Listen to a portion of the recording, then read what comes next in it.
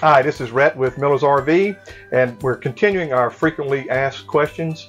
Uh, we're inside a 23 Cortes here, and I'm going to show you how to operate the dinette table to make it into a bed. And don't forget to like and subscribe to our YouTube channel, and that way you automatically get the updates uh, when we do post a new video, and keep the questions coming. Now let's get started.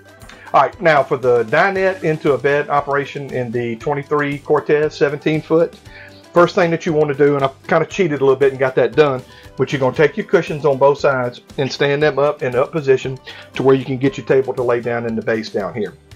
Now there's two buttons on this dinette table. You have a push lever right up underneath the right side here. You push that and that allows you to move the table back and forth. You want to get it a little bit away from the wall so you don't scratch the wall going up and down with the dinette table. And then the rest of it is just very, very simple. You can see a little small black button at the base of the leg down there. All you do is to press that button and that will allow you to take this table and push it down into position and then you just put your uh, cushions across the dinette. Now when you're ready to come back up with it, all you do is to press the button again, raise the table back up and it will lock in position for you. Very, very easy, very, very lightweight, and you don't ever have to take the weight of the dinette table like you do in other units. Keep watching us, millersrv.com, and always remember, enjoy the journey.